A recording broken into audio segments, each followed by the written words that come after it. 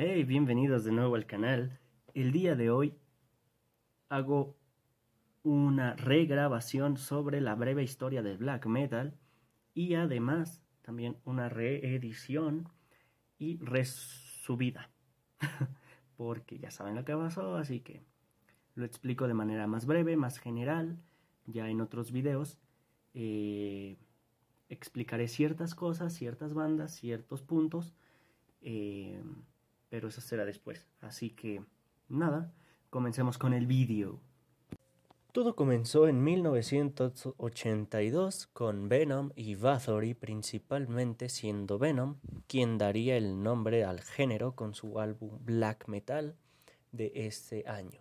Y luego de esta primera ola nacieron otras bandas de las cuales nació la segunda ola y quienes darían al género toda su esencia, sus letras y sus nuevos rumbos.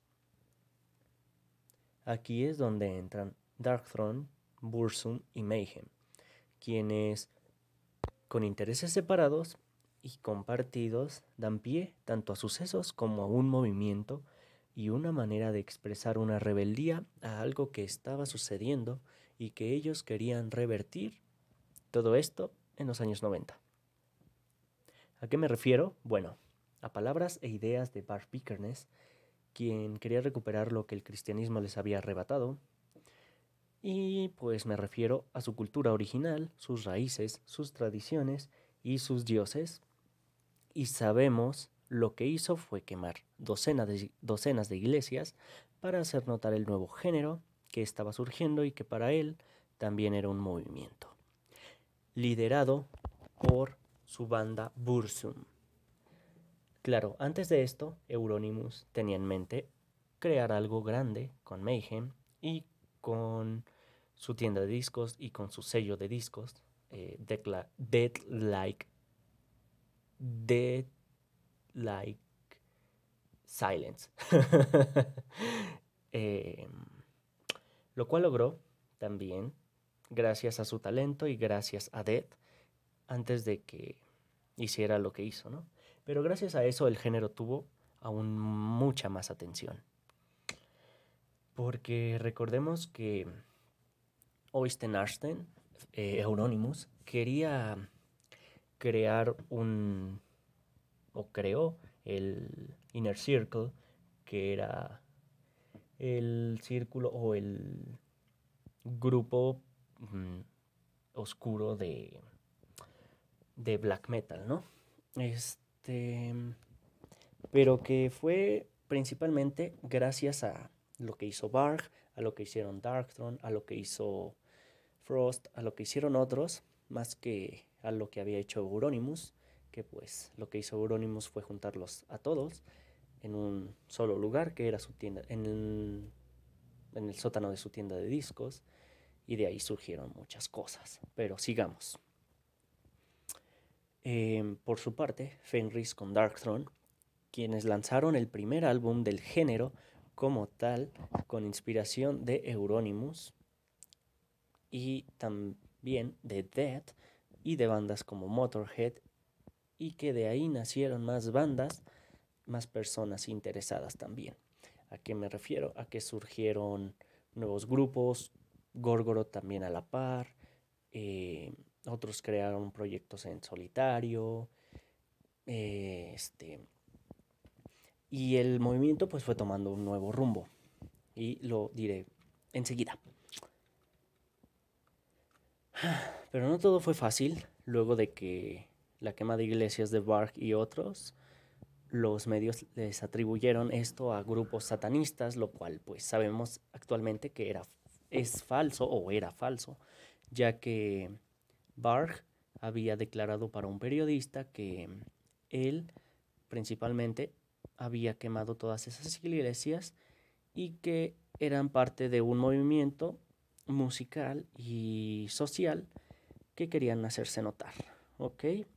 Pero sabemos lo que pasó, el periodista llamó a la policía, lo arrestaron y luego, pues por falta de pruebas, salió libre, pero el periodista cambió la historia y todo se lo adjudicaron a grupos satanistas. Pero bueno. También el suicidio de Dead marcó un antes y un después en los sucesos que, que ocurrirían, porque Dead era alguien que supo darle tanto la voz, dio el corpse paint, dio la forma de hacer los conciertos y se le recuerda pues con gran cariño porque fue uno de los grandes pioneros del género. También la muerte de Euronymous propinada por Barg, que mm, luego de eso pues sí fue a prisión, ¿no? Pero que actualmente está libre y vive en Francia. También el encarcelamiento de Barg, como ya lo dije, el asesinato que hizo First, y demás tragedias que dieron paso a este género extremo, brutal y oscuro. ¿Y qué podemos decir de sus letras? Pues que son principalmente o eran sobre leyendas nórdicas, sobre mitología, sobre depresión, sobre política y sobre rebeldía, y algunas con temática anticristiana al principio, ¿ok? Si uno analiza las letras o las letras de algunos álbumes de Bursum, algunas letras de Mayhem, algunas letras de Darkthrone, se darán cuenta de eso. Después de lo que todo lo que pasó, pues claro, el género cambió y se hizo más letras satanistas, letras satánicas, eh, tipo invocaciones, tipo, tipo eh, narrando un sacrificio y cosas de esas. Y estoy tomando como ejemplo algunas canciones de Gorgoroth. Ok, así que claro que aún se conservan las letras originales en algunas bandas, pero otras pues cambiaron bastante y se comercializaron, lo cual en el género era o es para los verdaderos genios del género un pecado. El comercializar el género era algo aberrante y aún lo es para alguien como Fenris y para alguien como Barg. ¿Y por qué lo digo? Porque Fenris siempre ha dicho hasta la actualidad que para él el black metal no es algo que se tenga que comercializar o algo con el cual se tengan que hacer conciertos grandes o participar en festivales, ya que es un género underground, algo que y además algo que representa ciertas cosas que, que no van de acuerdo con comercializar algo de esa forma. Además que claro, todo se volvió una imagen y no una ideología o una forma de pensar expresada en letras.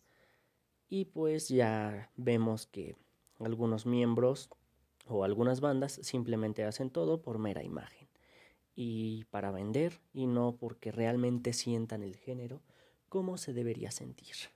Pero bueno, ya les explicaré en otro video eh, sobre lo que Fenris piensa del movimiento o del género del black metal porque es un tema extenso y queda para otro video. Igual hablaré sobre Barg, hablaré sobre Euronymous y de otras bandas, ¿ok? Así que creo que fue un resumen porque ya había subido esto, los que lo vieron ya se habrán dado cuenta de que esto fue muy corto Así que era un, es una regrabación y una y resubirlo, pero bueno, espero les haya gustado y ahora vamos con mi yo del futuro. Bueno, como ya vimos, eh, fue breve, fue general, fueron ideas generales, así que fechas un poco exactas, un poco generales, así, mm, que espero les haya gustado. Si es así y quieren saber o aprender más sobre metal eh, o black metal, en este caso, en este canal, se hablará más que nada de black metal los días miércoles. Y bueno, para eso, pues aquí abajo pueden comentar qué banda les gustaría que tratara, qué artista del género, qué subgénero del black metal, porque pues sabemos que existen una infinidad de subgéneros del black metal. Existe el suicidal black metal, el depressive suicidal black metal, el Viking, Viking black metal, el folk black metal, etcétera, etcétera, etcétera. Así que pueden dejar aquí abajo en los comentarios. ¿Y qué más? Nada, aquí abajo está mi Patreon. sí, tengo un Patreon, abrí un Patreon. Este, no sé por qué, pero probablemente en Patreon suba videos sobre errores de grabación, bloopers y esas madres, ¿no? Pero bueno, ya lo, lo iré viendo. En Facebook estoy pensando en resubir los videos sobre ideología de género, sobre temas de ese tipo, pero veremos después, ¿no? Así que nada, abajo están mis redes sociales, Facebook, Instagram, Twitter, Patreon, eh, ¿qué más? Tumblr, Pinterest, Discord, no. Está el grupo de WhatsApp eh, y demás mierdas, ¿no? Así que... Al carajo, escuché algo, escuché pasos. Y también mi gato. así que nada, nos vemos en el próximo video. Y ahora me iré a grabar el otro video. O otros dos videos que tengo para, para hoy miércoles. Así que.